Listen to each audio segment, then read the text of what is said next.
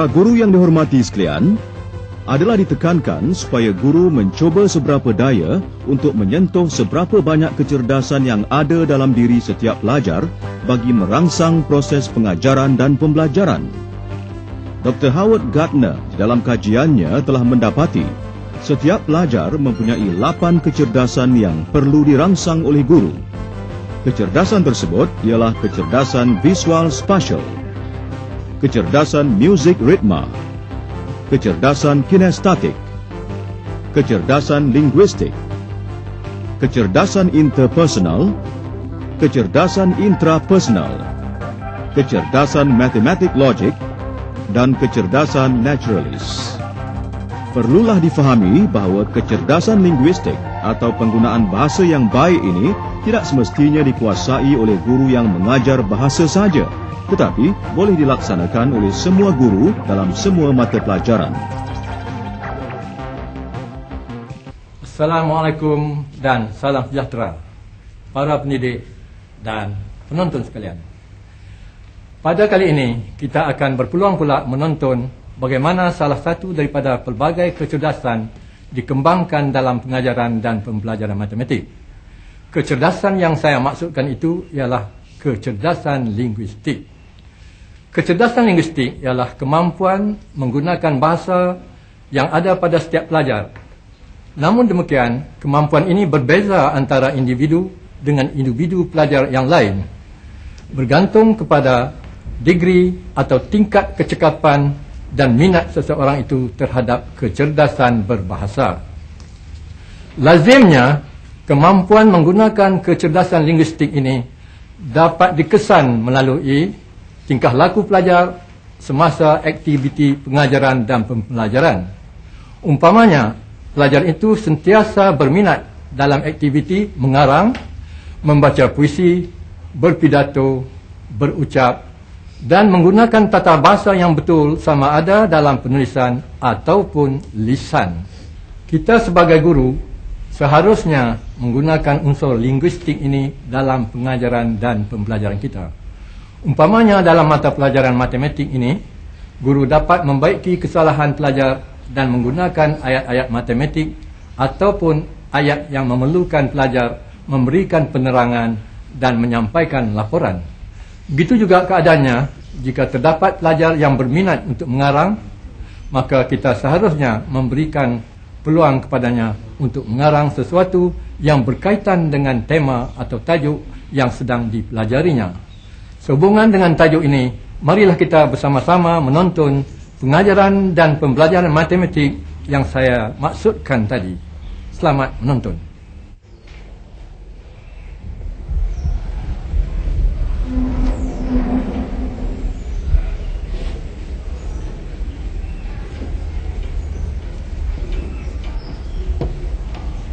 Okay, tuan belajar sekalian. Lokus bagi pergerakan satu titik pada jarak yang tetap dari satu titik tetap akan membentuk bulatan. Untuk lebih jelas, cuba kita perhatikan rajah ini. Kalau kita anggapkan ini sebagai titik yang bergerak, pergerakan ke hadapan pada jarak yang tetap, iaitu jarak yang sama dengan jarak sebelum ini. Kedudukannya adalah seperti yang digambarkan. Dan pergerakan seterusnya pada jarak yang tetap juga. Dia akan berada di sini. Dan seterusnya kalau kita tandakan uh, kedudukan titik-titik ini.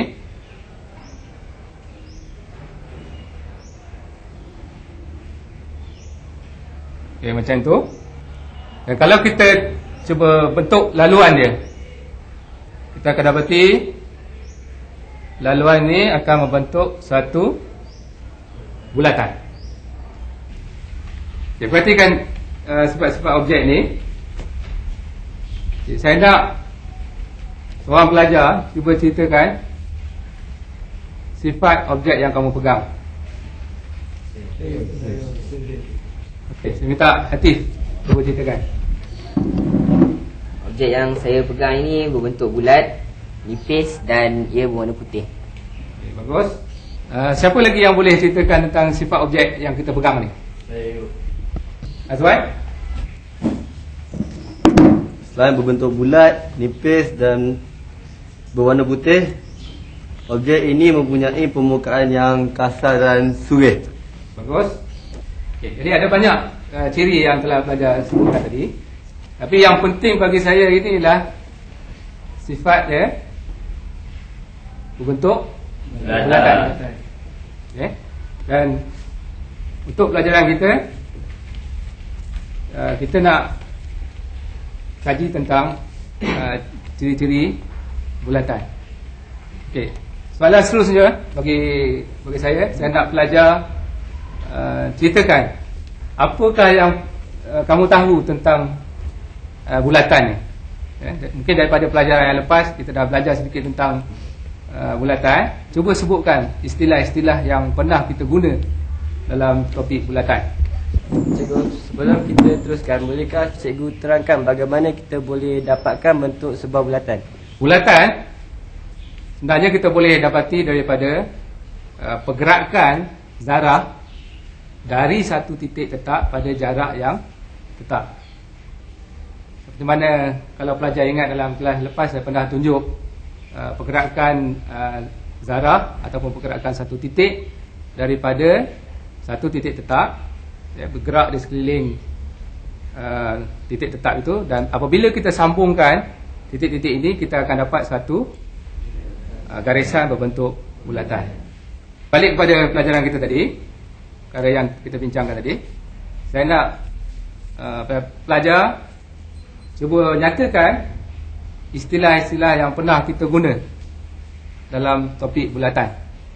Okay, siapa boleh sebutkan? Heru. Istilah yang saya sudah ajar tentang bulatan ialah pusat bulatan, jari dan perentas juga. Terus, saya minta seorang lagi. Uh, Saya minta Heru. Selain daripada apa yang telah disebutkan tadi, yang telah disebutkan tadi, saya juga telah pelajari tentang lilitan dan diameter cikgu. Uh, jawapan yang diberikan oleh Fa- Fairuz tadi dah betul eh. Cuma kita nak baiki sikit dari segi penggunaan bahasa dia. Sepatutnya Fairuz uh, tak boleh guna selain daripada. Dia, dia sepatutnya menggunakan selain apa? Contohnya selain diameter, selain buku dan uh, selain bunga dan sebagainya lah. Sekarang saya nak jelaskan lagi dan saya nak minta seorang pelajar cuba tunjukkan macam mana bentuk perentas. Sila tuan. Jadi saya minta tuan-tuan lukiskan pada bulatan tu di mana kedudukan perentas. Yang pada dua titik. Ya. Dari sini ke sini. Eh, boleh tak dia berada di tempat lain selain daripada tempat tu? Dia boleh berada di mana-mana saja asalkan yang menyambungkan ada dua titik dalam yang ada lilitan bulatan. Okey, bagus. Baik pelajar lain boleh faham eh? Jadi perentas ni dia tak kira uh, dudukan dia asalkan dia menyambungkan antara dua titik pada mana-mana uh, tempat di lilitan. Okey.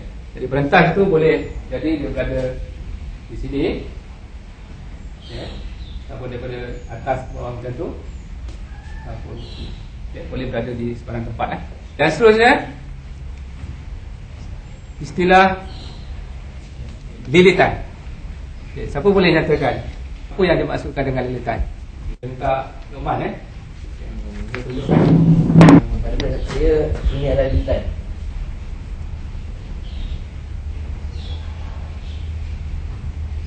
Okay, dari segi ayat ni dia nak ceritakan macam mana? Garisan yang menyambungkan sepadan secara lengkap. Garisan yang menyambungkan Menyambungkan sepadan secara lengkap. soalan secara lengkap. Boleh terima ke tak? Ya. Okay. Jadi lilitan ialah uh, garisan sempadan secara lengkap. Uh, satu lagi istilah yang penting bagi kita dalam topik ini ialah diameter. Uh, sebelum tu saya nak lukis dulu bulatan.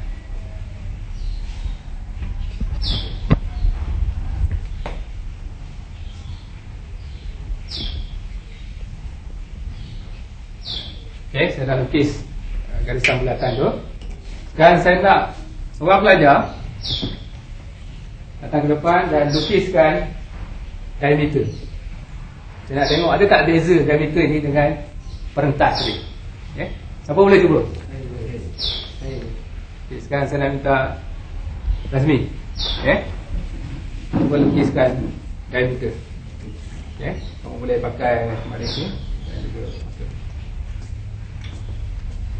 Dan itu juga ialah satu pentas tetapi uh, ia melalui pusat belakang.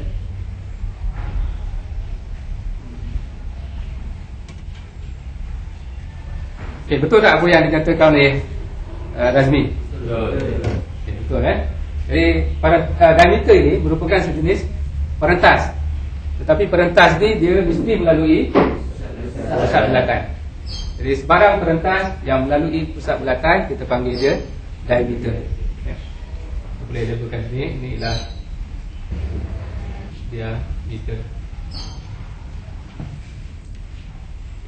Jadi dalam uh, pelajaran kita hari ini Yang penting bagi saya ialah uh, Dua istilah utama Iaitu Lilitan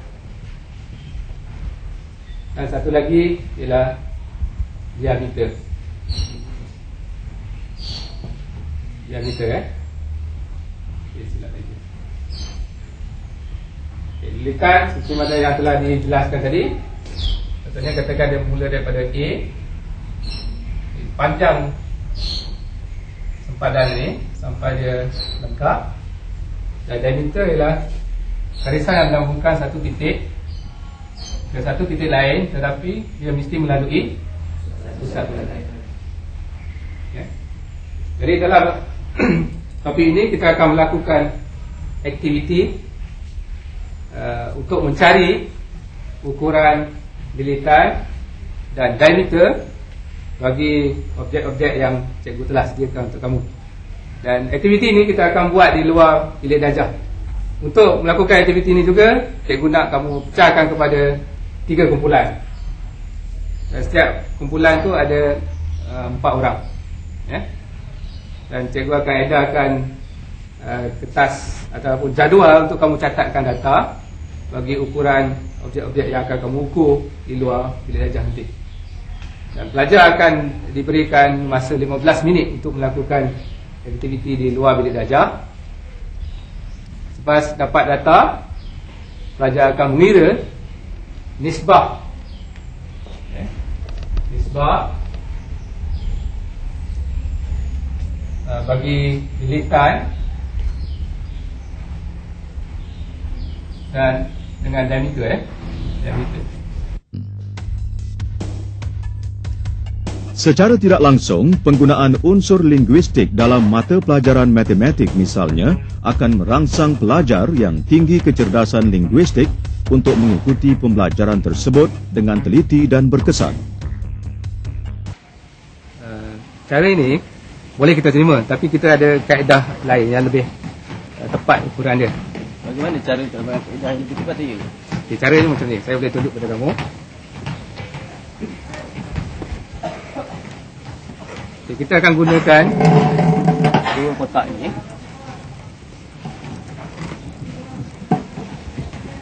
baringkan Tin ni.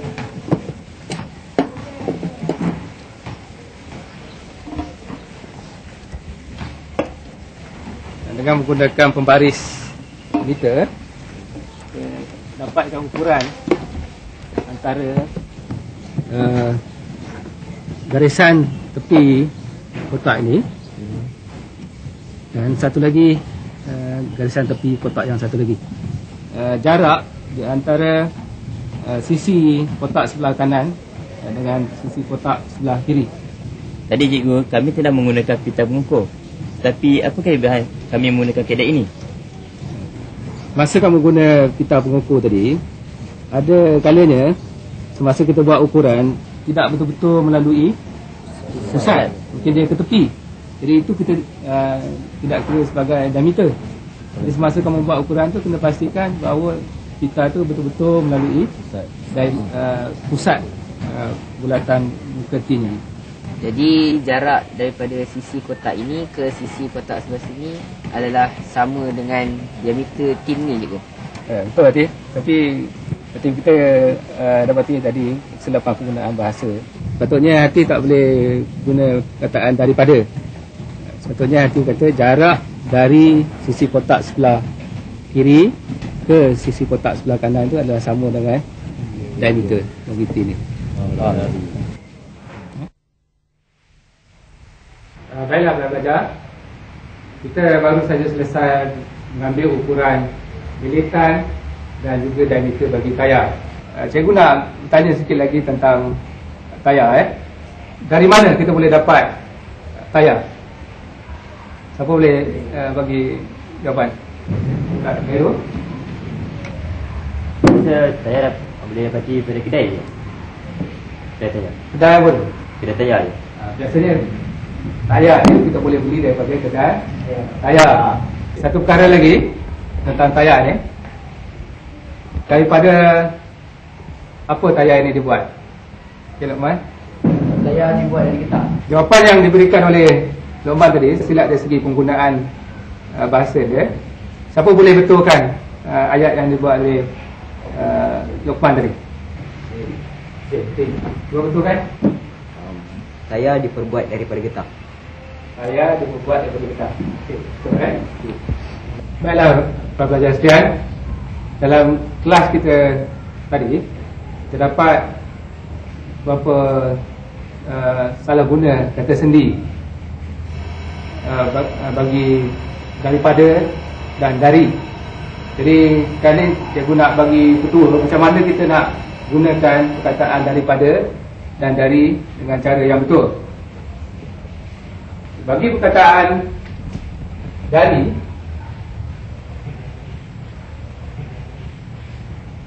Petua dia Saya boleh Simpulkan sebagai A T N A ni kita gunakan untuk uh, Ayat yang menunjukkan arah. Ya, Arah. Contohnya Dari utara ke selatan. Ya, Dari barat ke timur. Ya. Yang kedua ini Mewakili Tempat. Okay, Contohnya Ahmad datang dari Kedah ya. Barang-barang keperluan rumah saya dibeli dari kedai Pak Abu. Ya. Dan satu lagi M terwakilkan untuk masa. Okey, contohnya bapa saya bekerja dari pukul 8 pagi hingga pukul 4 petang. Ya. Peperiksaan matematik berlangsung dari pukul 10 pagi hingga pukul 12 tengah hari. Bagi sendi kata daripada kita boleh wakilkan uh, sebagai S. O. A. S ni mewakili sumber. Okay. Contohnya Seperti yang kita buat ayat tadi Tayar ini dibuat daripada getah. Itu menunjukkan sumber ya, Bahan untuk membina tayar okay. Pasu bunga dibuat daripada tanah liat ya, Jadi kita guna pasu bunga kan. Satu lagi O uh, Mewakili Orang. Contohnya uh, Si Ahmad menerima surat daripada uh, si Kamal. Dan yang seterusnya ialah A. A menunjukkan atau mewakili anggota.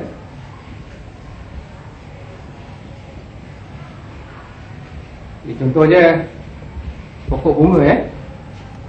Uh, terdiri daripada batang, akar, daun dan dahan.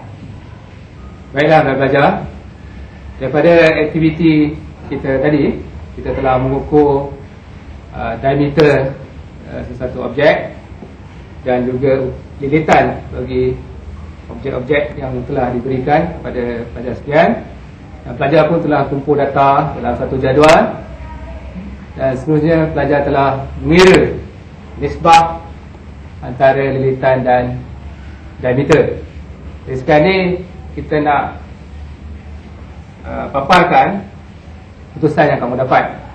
Ya. Saya minta seorang wakil ya, daripada kumpulan kita ni untuk menulis putusan di papan tulis. Ya, silakan. Ya, silakan.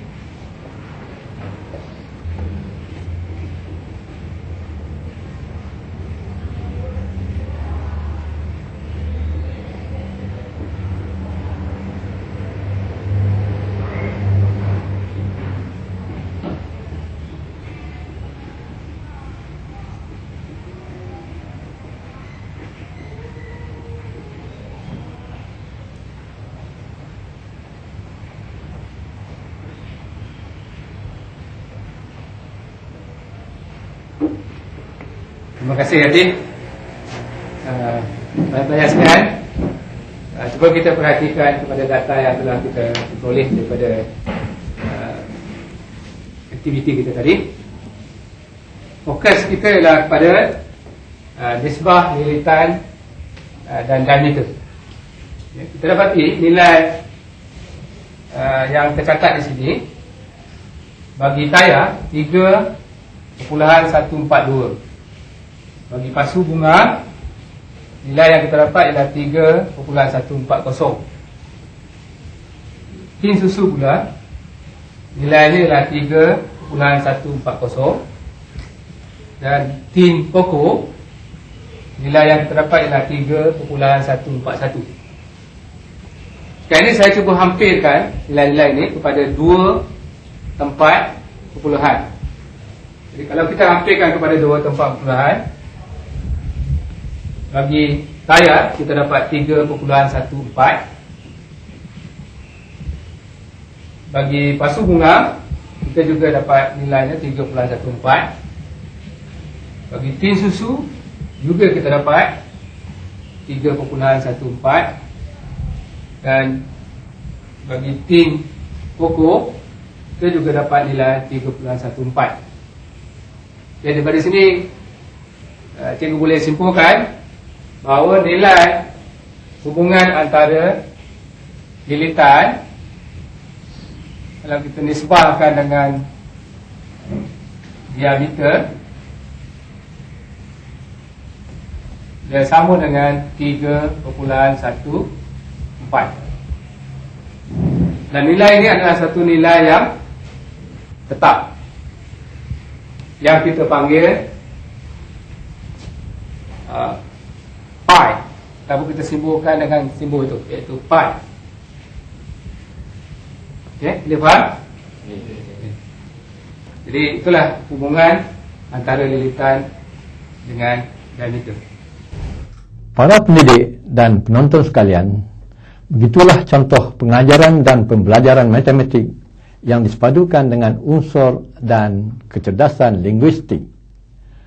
Dalam pelajaran tadi, di samping mereka mempelajari tajuk diameter, lilitan dan pi, pelajar juga dapat membaiki kesilapan bahasa mereka terutamanya dalam aspek kata sendi dari dan daripada. Dalam pelajaran tadi, kita dapat perhatikan bahawa guru dapat mengesan kesalahan ayat yang digunakan oleh pelajar. Kata sendi daripada dan dari memang sering disalahgunakan oleh pelajar. Misalnya, dalam pelajaran tadi, terdapat pelajar yang menyebut ayat seperti yang berikut. Tayar ini diperbuat dari getah. Ayat yang betul seharusnya tayar ini diperbuat daripada getah.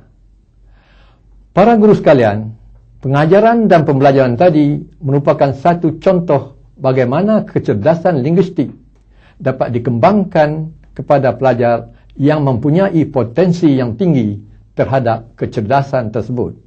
Pelajar yang mempunyai pelbagai kecerdasan ini haruslah diberi layanan yang sewajarnya supaya kecerdasan yang ada pada mereka itu dapat dikembangkan dan disuburkan mengikut keperluan.